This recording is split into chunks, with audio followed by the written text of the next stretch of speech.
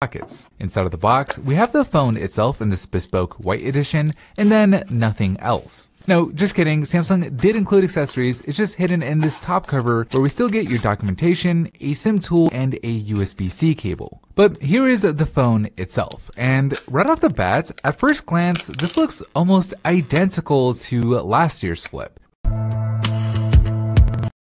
We've got the button layout with the rocker and the fingerprint scanner on the right side, SIM tray on the left side, the USB-C port at the bottom, and then on the top half, we have the same wide and ultra-wide camera layouts, along with the same 1.9 inch cover screen. But what's different this year is everything just feels more refined. The metal frame now has a shiny finish to it, which makes it look more elegant than before. The new hinge is significantly smaller while also somehow feeling more sturdy, with it taking a bit more effort to open and close.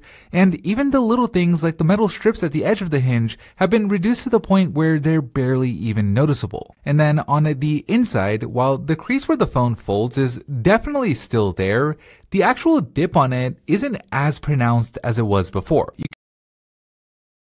You can still feel it when you slide your finger across it, but it just isn't as noticeable as it was on the Flip 3. Now, the main screen on the inside is the screen you're going to use most of the time. It's a 6.7 inch AMOLED screen with a 120 Hz refresh rate, and it's pretty good. But it is worth noting that because this has a more narrow 22 by 9 aspect ratio, it's not the same 6.7 inch screen size on something like the iPhone 13 Pro Max, since that has a more typical aspect ratio. As for the 1.9 inch cover screen, well, it hasn't changed much. Samsung is trying to make it more useful by adding new widgets to it, and they're cool and all, but for the most part, I think the cover screen will mainly be used for notifications and checking the time. Although, one area where having the cover screen is pretty much a game changer is how it lets you take selfies using the rear cameras, allowing you to frame yourself just right and take advantage of the significantly better image quality. You can switch between the wide and the ultra wide cameras with a simple swipe, and what's cool is you don't even have to unfold the phone to set this up. You just double press on the power button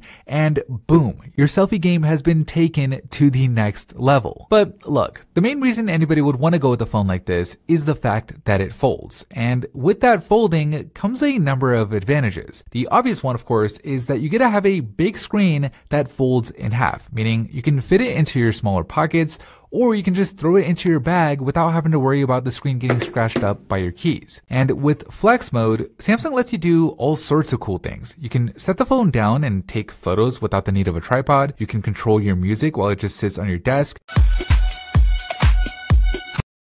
or you can watch a video hands free. Now, I don't know if any of that is enough to justify the $1,000 price that Samsung is asking for this thing, since there are a lot of other phones on the market that cost around the same and technically have better specs. But what those other phones don't have that the Flip does is the cool factor. I mean, like the flip is just different with this elegance and style to it, where I think using it is less about having the best phone spec for spec and more about making a fashion statement or just taking really good selfies.